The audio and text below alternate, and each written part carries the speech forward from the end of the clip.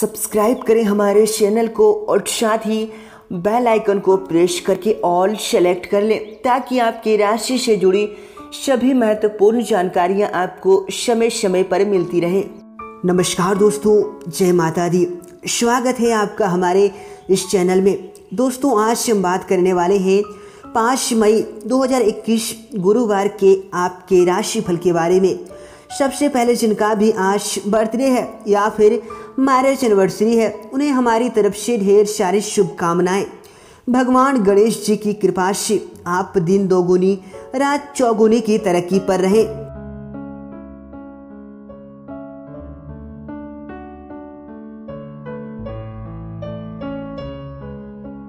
आपकी खुशियों के साथ साथ ऐसी कौन कौन सी परेशानियाँ और कौन सी कष्टों को लेकर आने वाली है जिससे आपको सावधान रहना है और साथ ही हम आपको बताना चाहेंगे, आज आपकी ग्रहों की स्थिति कैसी रहेंगी?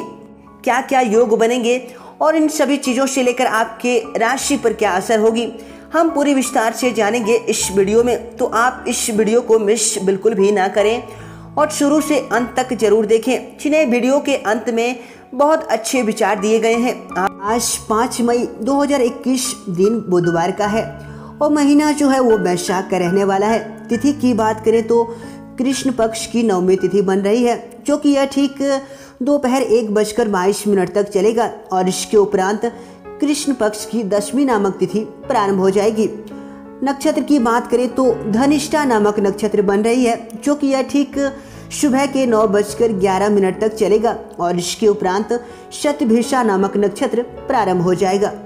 योग की बात करें तो ब्रह्म नामक योग बन रही है, जो कि यह ठीक शाम के सात बजकर सैंतीस मिनट तक चलेगा और इसके उपरांत इंद्र नामक योग प्रारंभ हो जाएगा। चलिए बात करते हैं सूर्य और चंद्रमा का समय। सूर्योदय का समय सुबह के पाँच बजकर चौवन मिनट पर और सूर्यास्त का समय ठीक शाम के छह बजकर बावन मिनट पर और चंद्र उदय का जो समय है, वो रहेगा ठीक रात्रि के दो बजकर दस मिनट पर। और चंद्रास्त का जो समय है, वो रहेगा ठीक दोपहर एक बजकर चौंतीस मिनट पर। सूर्य राशि रहेगा मेष राशि पर और चंद्र राशि चंद्रमा कुंभ राशि पर संचार करेगा। अर्थात आज का शुभ समय। आज की डेट में कोई भी शुभ समय नहीं है। चलिए बात करते हैं आज का अशुभ समय। यानी राहु काल की बात करें तो यहाँ दोपहर बारह बजकर तेईस मिनट से लेकर ठीक दो बजे तक चलेगा। याद रखिएगा दोस्तों, राहु काल के समय किसी भी महत्वपूर्ण कार्य को आप बिल्कुल भी ना करें, वरना आपके कार्य में किसी भी प्रकार की विघ्न बाधाएँ आ सकती है। इंसान को कभी हिम्मत नहीं हारनी चाहिए, क्योंकि पहाड़ों से निकली हुई नदी ने आज तक रास्ते में किसी को नहीं पूछा कि समुद्र कितनी दूर है। जीवन में खुशी होने के लिए दो शक्तियों की ज़रूरत होती है, एक सहन शक्ति, दूसरी समझ शक्ति। गुस्से के वक्त थोड़ा रुक जाने से और गलती के वक्त थोड़ा झुक जाने से ज़िंदगी आसान हो जाती है। कर्म तेरे अच्छे हो तो किस्मत तेरी दासी है। नियत तेरी अच्छी हो तो घर मथुरा और काशी है।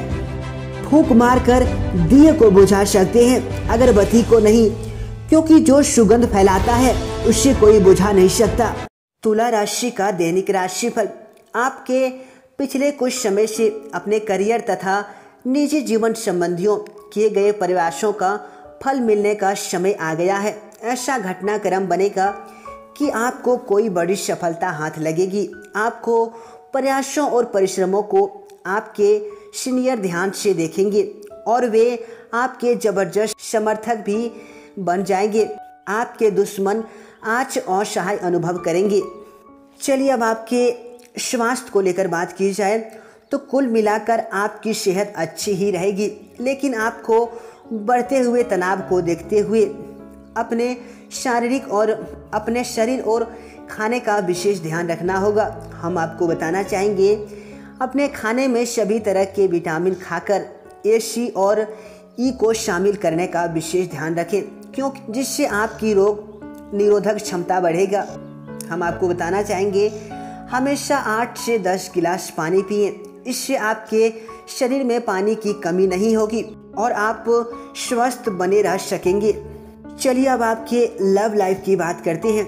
ग्रहों की स्थिति कुछ ऐसी बन रही है कि आपको काफ़ी मुश्किल वक्त से गुजरना पड़ सकता है, लेकिन यह समय वास्तव में इतना बुरा नहीं लगेगा। हम आपको बताना चाहेंगे, आप हाल फ़िलहाल ही किसी और की आकर्षित हुए हैं, लेकिन आप दोनों ही एक दूसरे को अभी अधिक महत्व तो नहीं दे रहे हैं। आपको ध्यान रखना है, आप उनके बारे में सोचते हैं और अगर आप छोटी छोटी बातों को नज़रअंदाज कर सके तो यह आपके लिए ज़िंदगी का यादगार रिश्ता बन सकता है।